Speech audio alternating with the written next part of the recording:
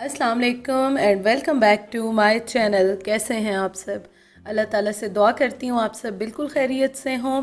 आज मैं बना रही हूँ जी पिज़्ज़ा और पिज़्ज़ा बहुत ही झटपट बन रहा है तो मैंने सोचा मैं आपके साथ भी शेयर करूँ। मैंने लिया है तकरीबन डेढ़ कप मैदा। अभी मैं जब ग्रॉसरी लेने गई थी ना तो मेरे माइंड में था कि और कुछ हो ना हो, मैं तकरीबन दो तीन पैकेट्स मैदे के ले लूँ, क्योंकि मैदे से ना बहुत सारी चीज़ें बन जाती हैं और घर में रह के ही बहुत सी चीज़ें जो हैं, हम लिमिटेड जितनी चीज़ें हैं, उनमें इंजॉय कर सकते हैं।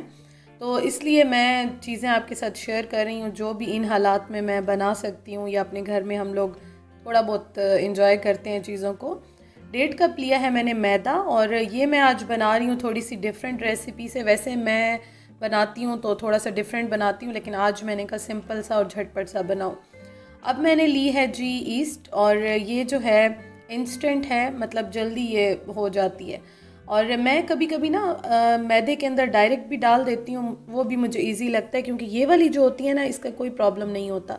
लेकिन आज मैं डाल रही हूँ पानी के साथ इसमें, और मैंने ली है तकरीबन एक टीस्पून, आप समझ लें, मैंने लिया है। वैसे दो कप मैदा लें तो भी एक टीस्पून काफ़ी होती है। एक टीस्पून आप ये ले लें, एक टीस्पून आप चीनी का ले लें। तो काफ़ी होता है। और यहाँ पे मैंने डेढ़ कप लिया था तो एक टीस्पून से थोड़ा सा मैंने कम कर लिया था। अदरवाइज़ अगर आप बनाएँ तो रेशो आप इस तरह से रखें कि अगर आप दो कप मैदा ले रहे हैं तो उसके साथ आप एक टीस्पून लें इसका और एक टीस्पून चीनी का ले लें तो सबसे अच्छा होता है। और इसके साथ ना मैं इसमें डाल रही हूँ आधा कप नीम गर्म पानी और इसको मैं अभी रख दूँगी मिक्स करके। यहाँ पे ना ये था कि मैं थोड़े से काम भी कर रही थी घर के और मैंने आज जो ये सोचा कि चलो जल्दी से मैं ऐसी कोई चीज़ बना लूँ जिसमें ज़्यादा एफ़र्ट भी ना हो और झटपट से बन जाए। तो इसको मैंने रख दिया था तकरीबन 10-15 मिनट, आधा घंटा रख दिया था। वैसे पाँच मिनट में 10 मिनट में ये फूल जाती है, इतना इशू नहीं होता। और यहाँ पे मैं आपको एक और बात बताऊँ कि बहुत सारी ये प्रॉब्लम्स आती हैं, बल्कि उस दिन भी मुझे दो चार क्वेश्चन आए हुए थे कमेंट्स आए हुए थे कि जब पैकेट आप खोलती हैं, उसके बाद क्या करती हैं, कैसे यूज़ करती हैं तो जब कभी भी आप पैकेट खोलें ना, कोशिश करें उसको एयर टाइट बंद करें। मैं तो ये छोटे वाला पैकेट अभी यूज़ कर रही हूँ तो अच्छी तरह मैंने इसको बंद करके टेप लगा दी है, और ये वाली जो टेप है, हमेशा मेरे किचन में होती है, हमेशा। जब से मेरी शादी हुई है, उससे भी पहले जब मैं, शादी नहीं हुई थी, अम्मी के घर भी मैं रखती थी किचन में।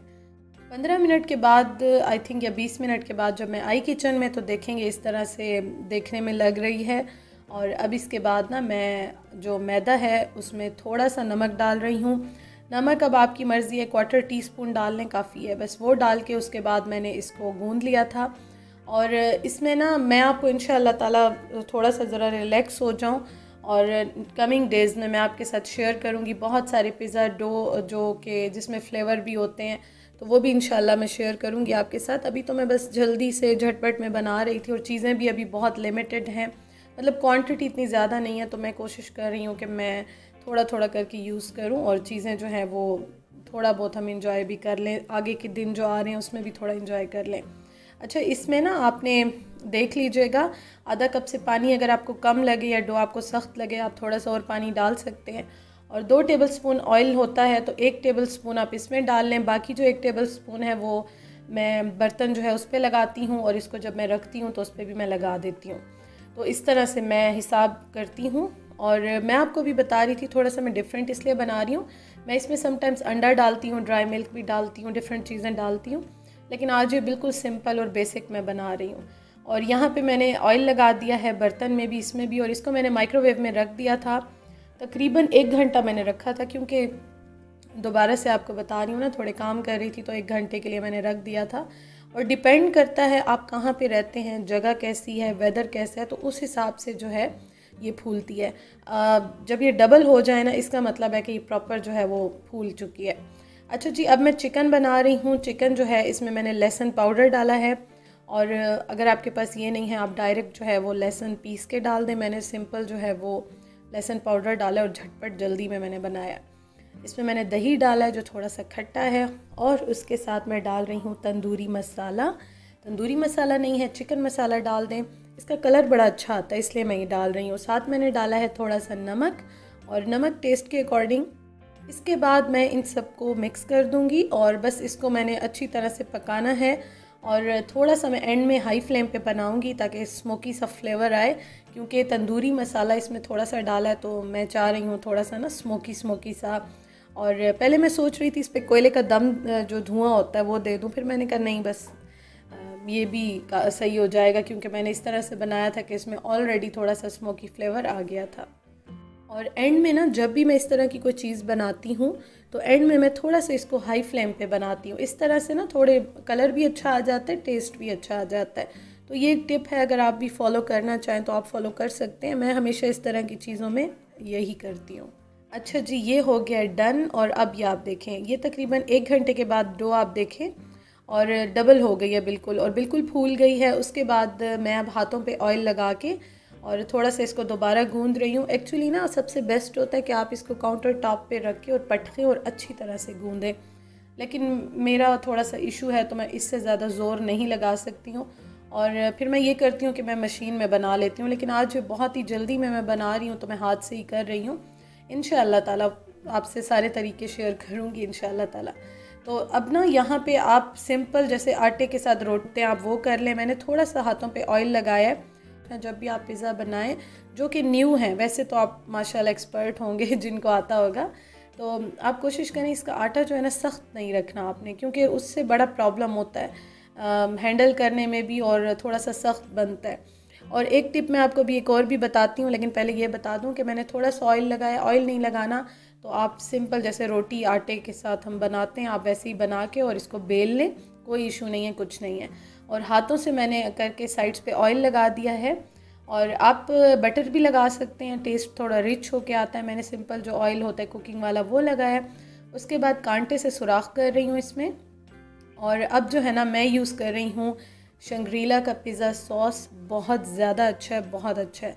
मुझे बॉटल्स के अच्छे नहीं लगते हैं, मैंने बहुत ज़्यादा ट्राई किए हैं, लेकिन मुझे अजीब सी एक स्मेल आती है और मैं हमेशा ख़ुद बनाती थी। लेकिन जब से मैंने ये लेना स्टार्ट किया है तो बहुत से मतलब चीज़ें मैं इससे बना लेती हूँ। टाइम भी बच जाता है। तो अगर अवेलेबल है आपकी तरफ़ तो आप ज़रूर ट्राई करें। अदरवाइज़ इन ताला मैं आपके साथ शेयर करूँगी। जो पिज़्ज़ा का रेड सॉस बनता है, वो भी करूँगी। पहले मैं ख़ुद ही बनाती थी, लेकिन बस अब ये है कि मिल जाता है तो मैं इसलिए ये यूज़ कर लेती हूँ। और यहाँ पे जो चिकन है, वो भी मैं डाल रही हूँ। पहले मैंने सॉस लगा दी, उसके बाद मैं चिकन डाल रही हूँ। अब कुछ लोग पहले चीज़ भी डालते हैं, दोनों तरह से बनाती हूँ। कभी सॉस डाल देती हूँ, कभी चीज़ डाल देती हूँ, दोनों तरह से बनाती हूँ। अब आज ये प्रॉब्लम है कि चीज़ जो है ना वो मेरे पास जितनी है, जो मैंने आपसे अभी शेयर की थी, एक दो दिन पहले किस तरह स्टोर करती हूँ तो मैंने उसको फ़िलहाल चलाना है क्योंकि बाहर जाने का भी कोई हाल नहीं है और मैं एक दिन में या दो दिन में ख़त्म नहीं करना चाहती थी। तो इसलिए मैं थोड़ा सा सोच के चल रही हूँ। अदरवाइज़ मैं चीज़ लवर हूँ, मेरा बस चले तो मैं तीनों पैकेट्स इसमें डाल दूँ और मज़े से खाऊँ। लेकिन थोड़ा सा मैं ज़रा हाथ रोक के आज चीज़ डालूँगी इसमें। और मैंने डाल दिए हैं प्याज। हमें प्याज बहुत अच्छे लगते हैं। बहुत ज़्यादा मुझे तो क्रंची सा जो फ्लेवर आता है, मेरा फेवरेट है। उसके साथ शिमला मिर्च डाली है और ऑलिव्स मैं डालूँगी। ऑलिव्स जो है ना, ग्रीन भी मेरे पास रखे हुए थे और ब्लैक भी तो मैं दोनों डाल रही हूँ। और यहाँ पे ना ये है वो चीज़। मेरा थोड़ा फ्रिज फ्रीज़र का मुझे लग रहा था, पता नहीं लाइट का इशू था या क्या था तो थोड़ा सा मुझे लग रहा था कि इशू कर रहा है। इस वजह से ना चीज़ मुझे लग रहा था कि थोड़ी मेल्ट हो रही है, लेकिन ठीक है। इतनी ज़्यादा तो नहीं हुई, लेकिन मुझे थोड़ा फील हो रहा था कि कोई इशू चल रहा है इसका। और ये चीज़ वही है जो मैंने आपके साथ शेयर किया है, मैं कैसे स्टोर करती हूँ, आपने नहीं देखी वीडियो तो लिंक दे दूँगी, आप देखिएगा। और जब मैं बात करती हूँ ना, जिस चीज़ की भी मैं लिंक दे देती हूँ, ऊपर आई बटन में भी आ रहा होता है डिस्क्रिप्शन बॉक्स में भी तो आप देख सकते हैं, कोई इशू नहीं है, जब दिल चाहे जाके देख लें। तो बस ये अभी मैं थोड़ा सा डेकोरेट कर रही हूँ इसको, कोई ख़ास तो नहीं, बस चीज़ भी आप देखें, मैं थोड़ी रोक रोक के डाल रही हूँ। लेकिन यह है कि अच्छा बना था, अल्हम्दुलिल्लाह। अच्छा अब मैं आपको एक बात बता रही थी कि मैं आपसे अभी शेयर करती हूँ। आप जब भी जो है ना पिज़्ज़ा बेक करें। एक तो ओवन आप थोड़ा सा पंद्रह मिनट के लिए प्री हीट कर लें। टू हंड्रेड पे हम मोस्टली करते हैं, इसको पंद्रह मिनट में ही रेडी हो जाता है। डिपेंड करता है कि आपने कौन से वाले रैक पे जो है वो पिज़्ज़ा रखा है। अब अगर आप नीचे वाले रैक पे पिज़्ज़ा रखते हैं तो पिज़्ज़ा जो है वो थोड़ा सा क्रिस्पी टाइप का बनता है। थिन क्रस्ट टाइप का जो होता है ना, वो बनता है। अच्छा यहाँ पे बता दूँ, मैं औरिगानो डाल रही हूँ। और ये बहुत मस्ट है, कोई भी इटालियन फ़ूड है या पिज़्ज़ा के लिए मस्ट है, इसके बगैर पिज़्ज़ा वाला टेस्ट बहुत कम आता है। अगर आप पिज़्ज़ा लवर हैं तो ज़रूर ये लें, बहुत ही बेस्ट होता है। ऊपर आप गार्लिक पाउडर भी डाल सकते हैं चिली फ्लेक्स भी डाल सकते हैं, जो आपको अच्छा लगता है, आप डालें इंजॉय करें, प्याज का पाउडर भी डाल सकते हैं। कोई हा मतलब ऐसा रूल नहीं है कि जो चीज़ भी आपको पसंद है, आप यूज़ कर सकते हैं। तो बीच वाले आप रैक पे रखेंगे ना, बिल्कुल बीच में, तब आपका पिज़्ज़ा थोड़ा सा सॉफ्ट बनता है। अच्छा इसको मैंने बनाने के बाद भी पाँच मिनट रखा था, थोड़ा पाँच दस मिनट रख दें, और उसके बाद थोड़ा सा ये दोबारा फूल जाता है, और फिर उसके बाद आप बेक करें।